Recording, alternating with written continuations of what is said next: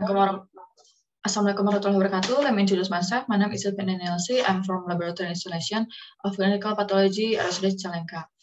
Thank you for the committee who have invited me to the present scientific articles with several titles, the relationship of neutrophil lymphocyte ratio value to the severity of COVID-19 patient.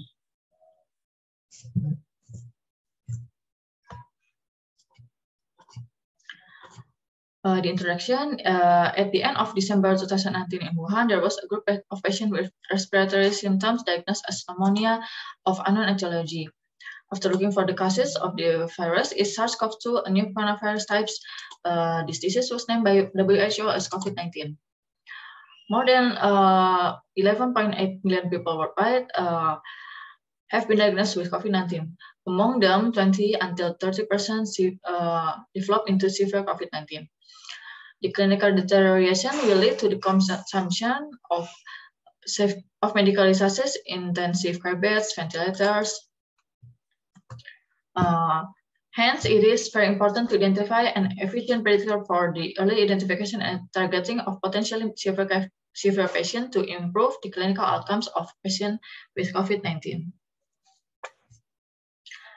Uh, many previously studies have shown that COVID-19 patients have si significant inflammatory responses accompanied by decrease in the absolute count of lymphocytes in the peripheral blood circulation and an enhancement in the number of neutrophils.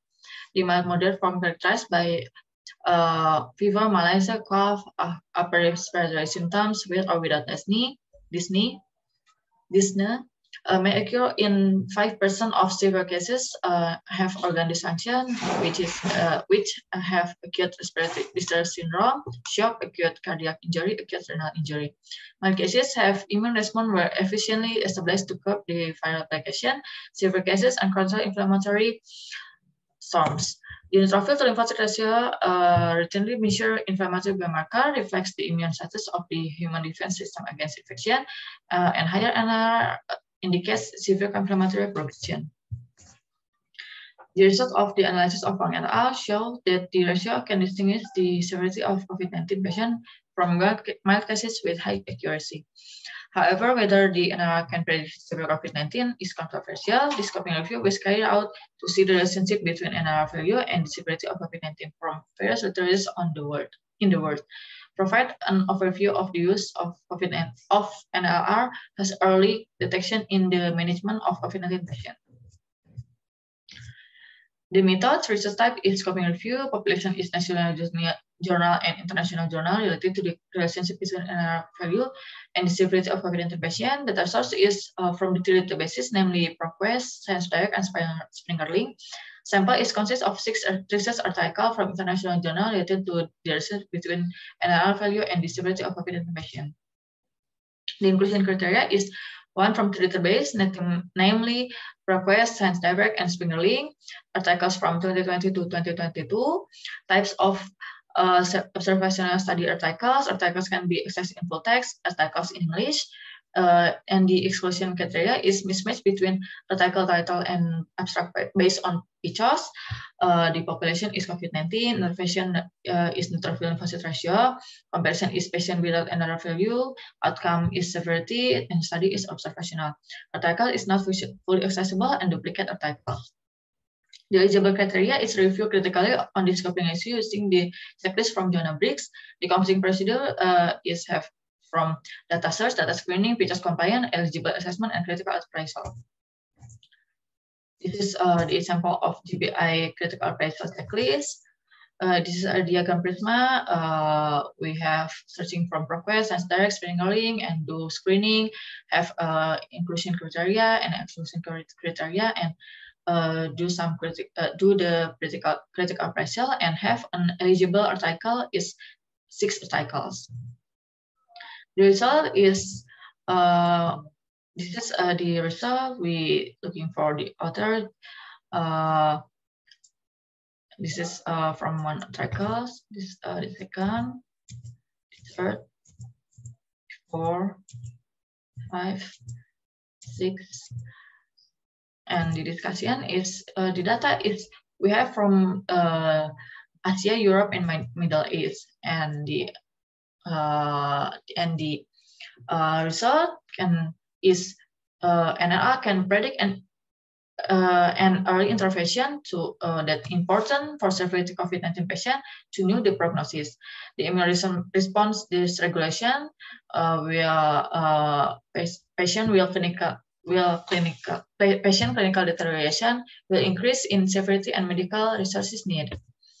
Uh, research is uh, same from all the articles. There is NLR value represent the balance between neutrophil and lymphocyte level have a higher sensitivity than neutrophil and lymphocyte counts alone to indicate inflammation.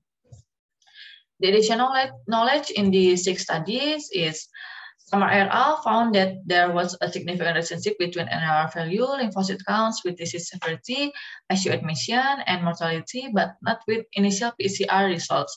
This was probably due to viral load not being the only one that affected the severity, but the immune system and comorbid disease also plays a big role. Vilama et al. showed that in addition, addition to the increasing NLR value, the positive increasing NLR value within 24 hours was also an indicator of disease severity. An increasing serial NLR value indicates excessive lymphocyte cell working work resulting in cell fatigue, which causes cell death so that the number of lymphocyte decreases and the NLR value increases. Said et al. and Prasetya et al. state that there was a significant difference in NLR value between patients admitted to the ICU and patients who were admitted to the ICU. Al. compare a derivation cohort, a validation cohort associated risk factor for age in COVID-19 patient with pneumonia. The results still show that NLR is the most important prognostic factor, factor to determine the severity of COVID-19 patient. To confirm the significance value of NLR in diagnostic predict disease severity and clinical outcome of COVID-19 patient, there is ample evidence to suggest that the age that age plays an important role in disease progression and the prognosis of COVID-19. Research Liu et al. stated that patients more 50 years of age and with an NR greater than 3.13 were more likely to develop severe COVID-19, and they suggest that these patients should be sent to the ICU as early as possible. So we, the more research is needed. Limitation from this uh, research is a retrospective case control study, which was biased even in the data retrieval system and the electronic data analysis were collected prospectively. There was marked heterogeneity among the study included in this scoping review and was not completely eliminated. There are several studies reporting to NR of COVID-19 which couldn't be included in the final analysis due to infection data. Conclusion is based on six cycles that have been reviewed, the results show that the neutrophil lymphocyte can be used as predictor of severe COVID-19, early warning of emerging system, and determine the treatment steps of COVID-19. Thank you for the attention. Assalamualaikum warahmatullahi wabarakatuh.